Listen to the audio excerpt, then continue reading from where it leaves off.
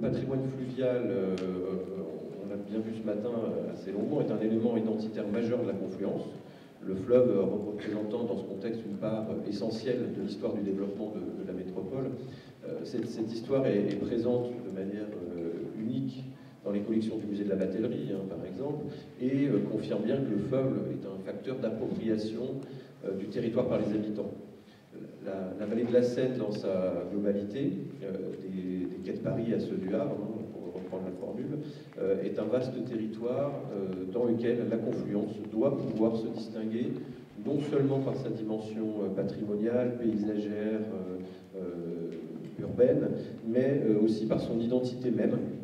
euh, celle d'être le point d'articulation entre la Seine et l'Oise, le maritime et le continental,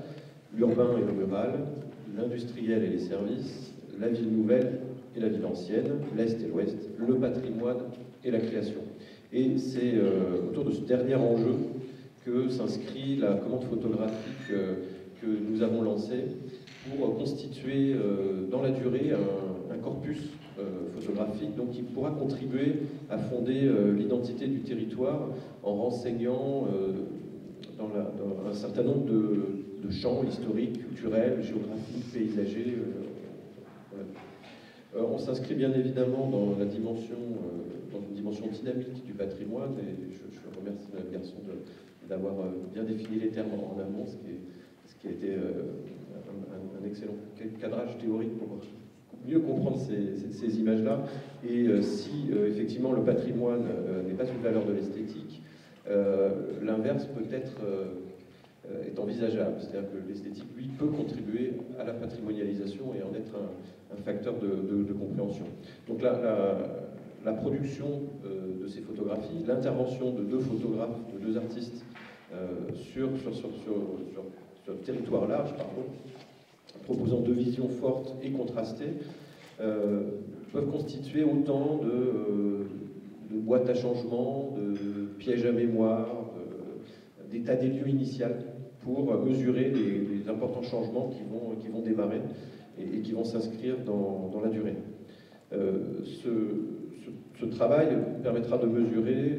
là aussi, les différents usages du fleuve dans le temps, euh, on en a parlé ce matin, les usages industriels, les, usages récréatifs, euh, les usages des habitants eux-mêmes, dans leur relation au fleuve, tout ça étant extrêmement évolutif, parfois conflictuel, et dans tous les cas, toujours en mouvement. Voilà, donc je, on va bientôt lancer donc, la, première sélection de photographies, donc, qui est le travail de Jean-Christophe Ballot. Jean-Christophe, lui, alors, a un projet artistique euh, sur la confluence qui se situe euh, à mi-chemin entre une vision poétique et une vision documentaire. On est sur un principe euh, global de la carte blanche, chaque photographe ayant défini son approche artistique, mais malgré tout répondant à un contexte, un cadre assez précisément donné par les deux CLE et la communauté d'agglomération de, de Sergi Pontoise. J'en profite d'ailleurs, petite insiste, pour remercier en particulier Chantal Goléon qui pilote cette affaire de, très près pour l'ensemble de l'équipe. Je referme la parenthèse. Jean-Christophe Ballot, donc lui, euh, s'est attaché à montrer les, points structurants euh, territoire en, parcourant le, en le parcourant et en en dégageant des points remarquables. Euh, la rencontre des fleuves, des deux fleuves et des villes qu'ils traversent, la relation que les villes entretiennent avec les méandres, le traitement des berges, euh, des fleuves aperçus dans les,